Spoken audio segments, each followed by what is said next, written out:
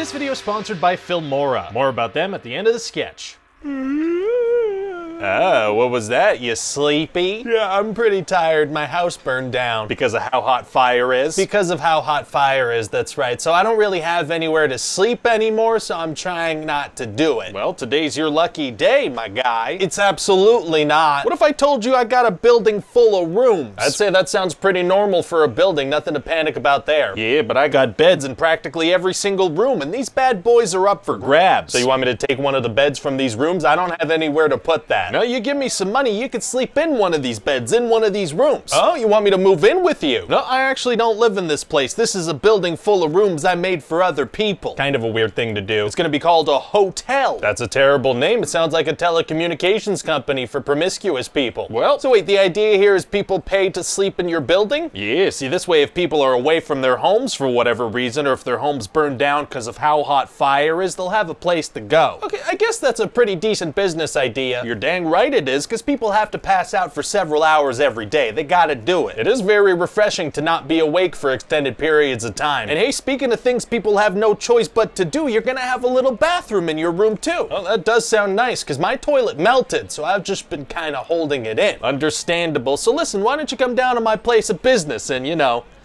take a crap and pass out. I mean, I don't have any of my bathroom stuff with me though. Oh, I've actually got you covered. I got tiny little soaps and tiny little shampoos. Extremely cute. It's all included. What about toothpaste? Why would I give you toothpaste? I just.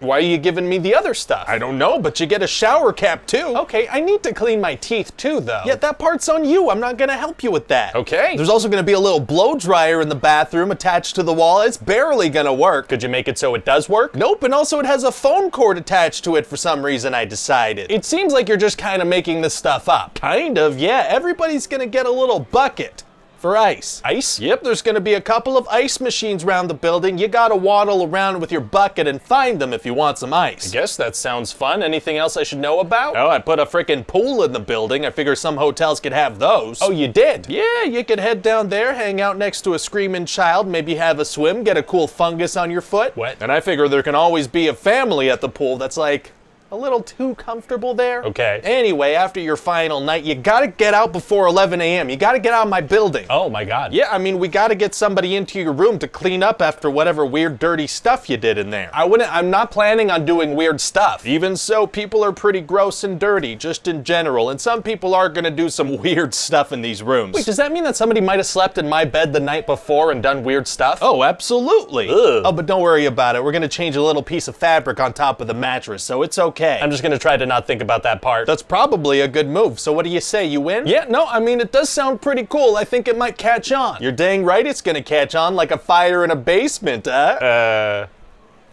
Wait, I didn't tell you the fire started in the basement.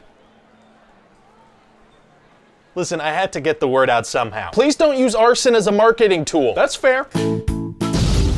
Hi there, hello, it's me, I'm the Adstronaut. I'm out here in ad space to talk to you about Filmora 10. Listen, if you're gonna create videos for the internet, you're gonna need some good video editing software. And I should know, I make a bunch of videos over on my React channel where I react to random videos I find.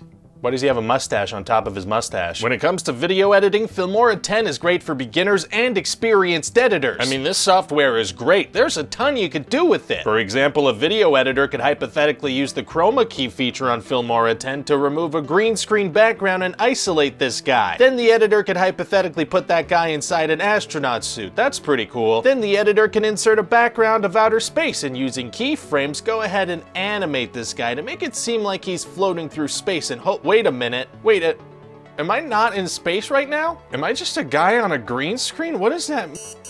Anyway, in the month of March, Filmora is running a campaign called Hashtag Travel Anywhere. Make a video using household items or Filmora effects to create your dream destination at home for a chance to win some awesome prizes. Check the description for more details. You can also try Filmora 10 for free by clicking the link in the description. Go ahead, you can do it. Okay, I'm gonna go have an existential crisis now. Bye.